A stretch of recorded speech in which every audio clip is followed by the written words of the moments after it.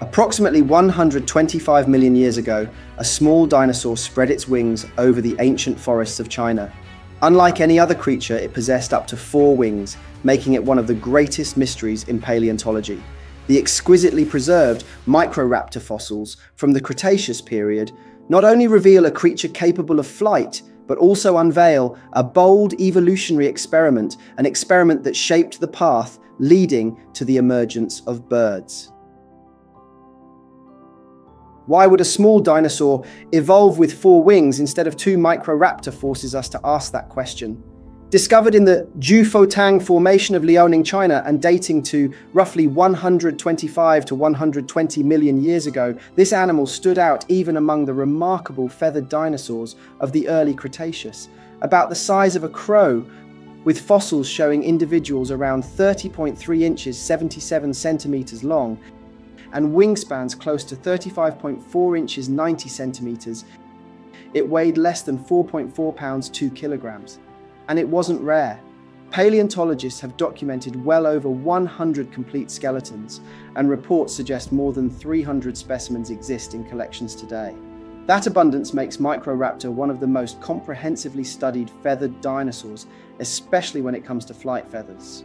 Unlike most early relatives of birds, Microraptor carried long, stiff vanes not only on its forelimbs, but also on its hind limbs.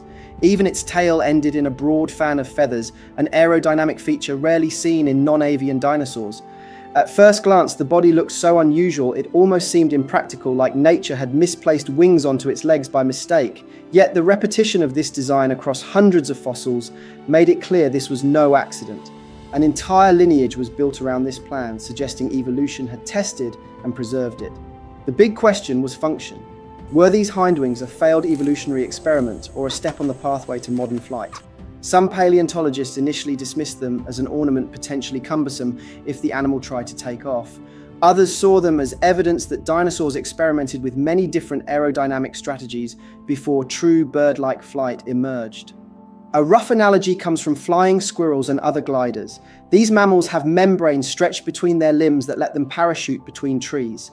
Microraptor operated on similar principles of surface area but with proper flight feathers and rigid vanes instead of skin. Structurally, its hind limb feathers resembled wings, though set in an arrangement unlike anything alive today. This led to competing reconstructions of the animal in life. One model depicted Microraptor like a biplane with fore wings and hindwings stacked above and below each other to create lift over multiple surfaces. That design offered the potential for lift but may have reduced agility while airborne.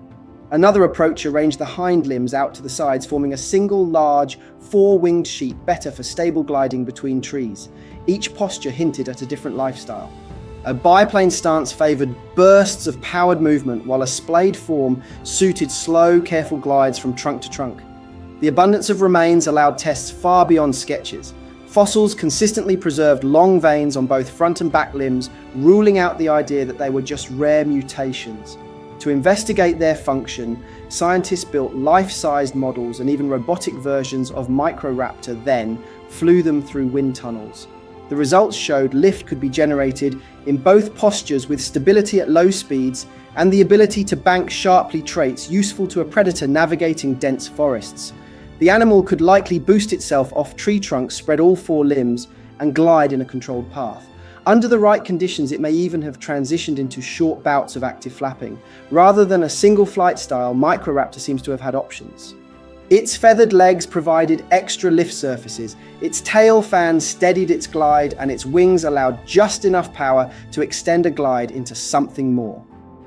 Instead of a mistake of design, the four wings were part of a flexible system for moving through a complex environment where maneuverability was essential to catching prey and avoiding larger predators. Seen this way, Microraptor shows flight was not an all or nothing event that suddenly appeared in birds. It was shaped over millions of years through repeated experiments in anatomy and aerodynamics. And while its body revealed radical solutions for taking to the air, another secret was preserved at the microscopic level, hidden in the structure of its feathers themselves. Microraptor wasn't only remarkable for its extra set of wings, but it also carried an appearance unlike anything else in its world.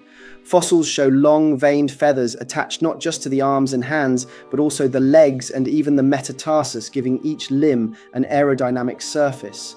The tail ended in a narrow fan, or in some specimens, a distinctive pair of streamer like feathers extending from the tip. Combined with its relatively short, stiff tail, supported by fused vertebrae, elongated forelimbs, and a wrist joint that could swivel like that of modern birds, Microraptor had a silhouette that already hinted at avian flight surfaces millions of years before true birds spread across the globe. Yet the surprise went beyond feather placement. When researchers examined its fossils under microscopes, they found the preserved outlines of melanosomes, the tiny structures inside feathers that determine colour in living birds. Their shape and arrangement closely matched those of modern glossy black birds such as starlings and crows. In 2012, a study in Science confirmed what that meant. Microraptor's plumage was not brown or grey as once imagined, but glossy, iridescent black. Depending on the light, its feathers would have flashed subtle shades of blue or green, producing a surface that shifted in appearance much like a starling's feathers today. This was one of the first times paleontologists could confidently reconstruct the true colours of a non-avian dinosaur. The physics behind that shimmer comes from structure rather than pigment. Layers of melanosomes refract and interfere with light, amplifying some wavelengths while cancelling others. The result is an optical effect that changes with angle, making feathers appear metallic or slick. In Microraptor's case, the effect would have made its feather coat dynamic, not a uniform black, but a living surface that gleamed in sunlight or dappled through forest canopies. For scientists, this finding challenged decades of reconstructions that treated feathered dinosaurs as uniformly dull. Instead, it suggested that visual impact had already become a factor in dinosaur evolution. Why Microraptor had such glossy plumage is still debated. Some paleontologists note that iridescent feathers are associated with communication in many birds, such as courtship displays or territorial signalling. Others point out that the structure that produces iridescence may also lend feathers greater stiffness, potentially improving their aerodynamic performance. Both ideas remain possible, and there may not be a single answer. What can be said with confidence is that Microraptor had a complex feather system serving more than one role insulation flight surfaces and visual impact all at once.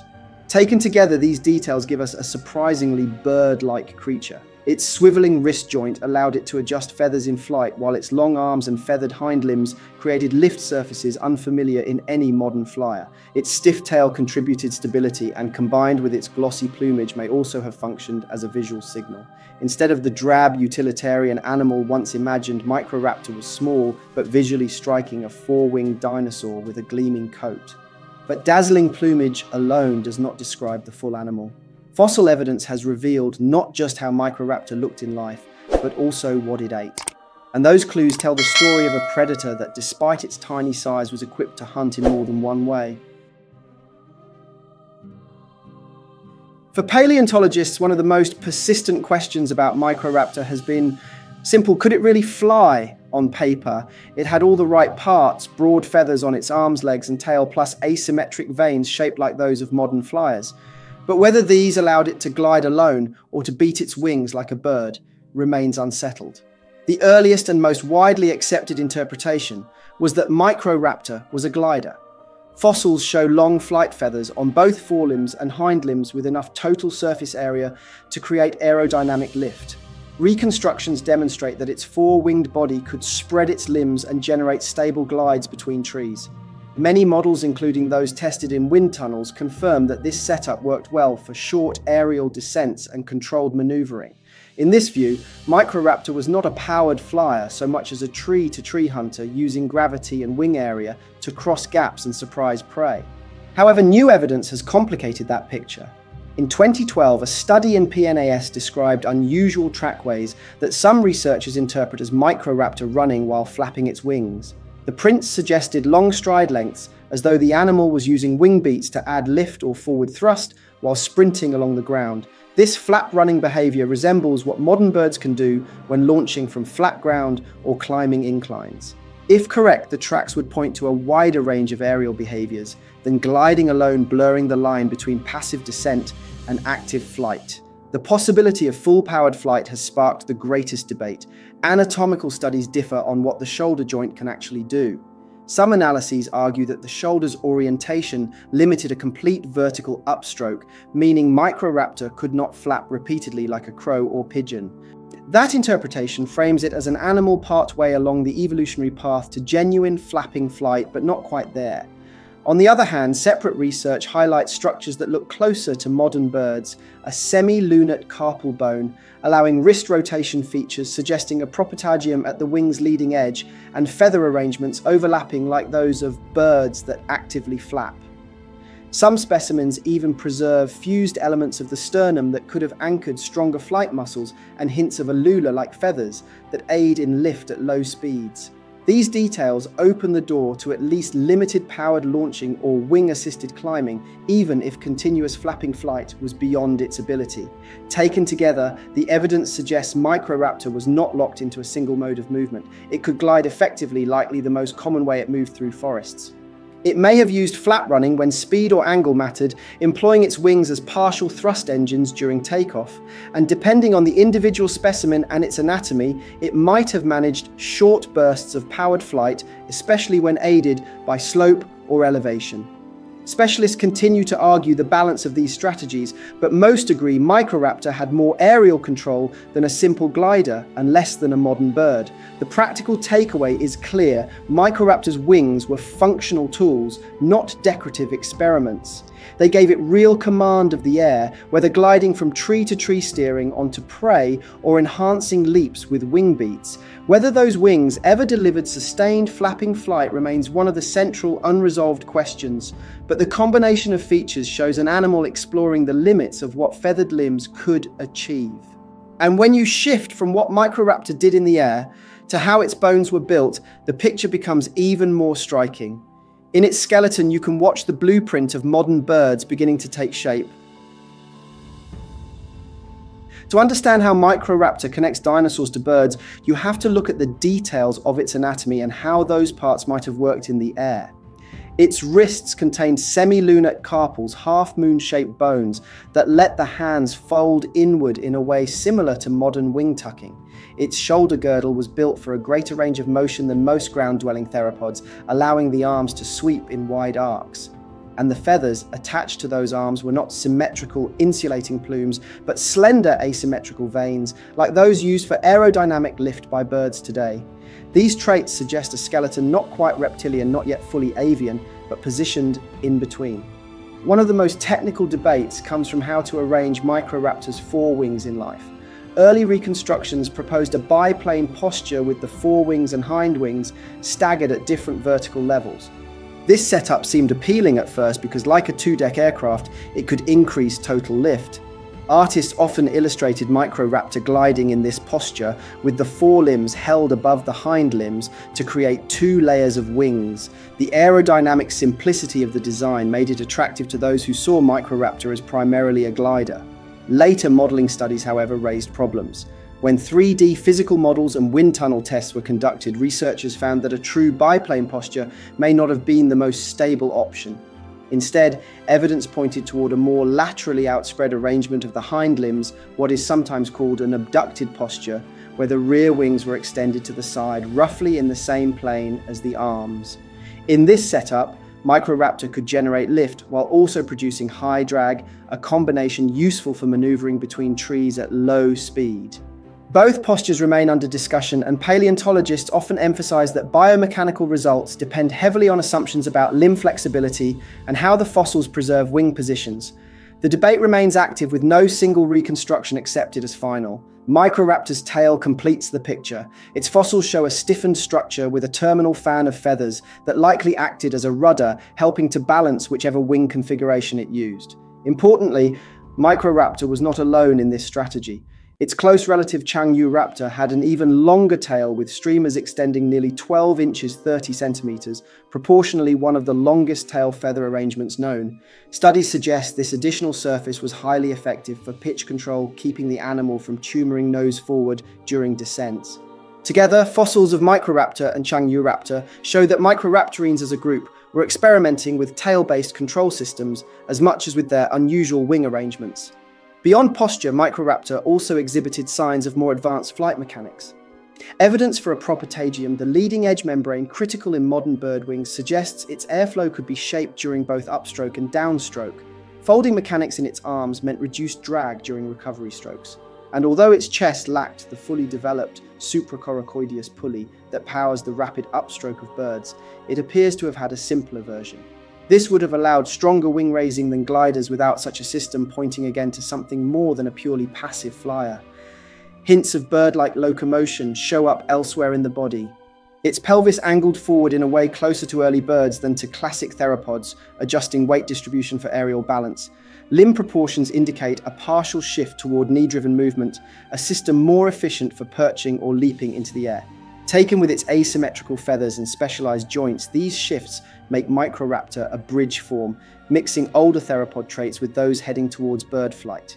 Recent work comparing feather numbers and vane asymmetry places it in an intermediate zone, not at the level of sparrows or hawks, but clearly beyond the simplest gliders. Rather than a single breakthrough, what we see is evolution layering, many small improvements, larger lift surfaces experiments in hindwing posture, rudder-like tails, and partial adaptations for powered mechanics. Microraptor embodied several of these steps, all at once preserving in its anatomy the overlapping stages that eventually produced the first true birds. That mix of traits is what makes Microraptor important. Its four-winged body shows us that the road to flight was not straightforward, but filled with experiments, many of which vanished as conditions changed. Yet its legacy lies not in disappearance, but in shaping the aerial possibilities that later species would refine. Fossils also reveal how Microraptor lived as a predator. Several specimens preserve direct evidence of meals, fish scales the bones of a lizard the foot of a small mammal, and even part of a bird's wing inside its ribcage. These finds show it was not a narrow specialist, but a generalist that hunted or scavenged whatever small vertebrates were available both in water and in trees. Its feet add another clue. Studies comparing Microraptor's toe pads to those of living raptors found hawk-like structures suggesting it may have been capable of seizing prey in the air or pinning it on the ground. That said, paleontologists caution that toe anatomy alone does not prove aerial hunting was routine. Instead, Microraptor is best understood as an opportunist equipped for many strategies gliding, snatching, or scavenging, depending on circumstance.